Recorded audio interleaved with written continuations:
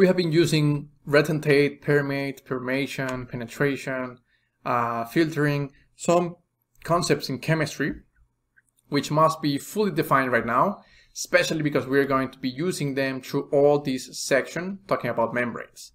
The interesting part on membranes, as you can imagine guys, is that you are always separating the feed or the inlet into at least two streams. So you got the main product and it gets separated into two products. So this is the inlet or feed and you got one product and one, let's say, byproduct.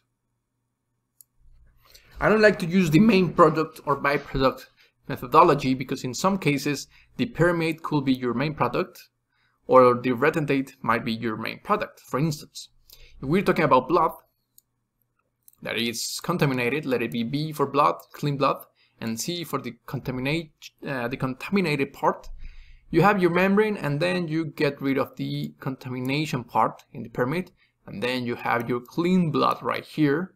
Well, the retentate right here will be your main product. If we're talking about another example, let it be uh, water. Let's say we want to clean water no, the reverse. We want, we have ocean water and we know that there are ions of gold present in ocean water. What you will see here is, of course, we are focusing our attention into gold. So we pass this through this membrane and let's say that the permeate is going to be the ions of gold. And the retentate, well, will be water and all the other leftover of seawater. In this case, the permeate is of course our main focus, our main product, and the retentate will be our byproduct. So that's why I don't like too much to say that the permeate is the main product and the retentate is the byproduct. I actually prefer to use this notation. The retentate is that part of the feed that does not passes through the membrane. So essentially, the retentate is always the leftover, or let's say the original solution without the uh. Now, what's the permeate is that part of the feed that actually passes through the membrane or permeates. So the name implies the permeate is that material that actually permeated through.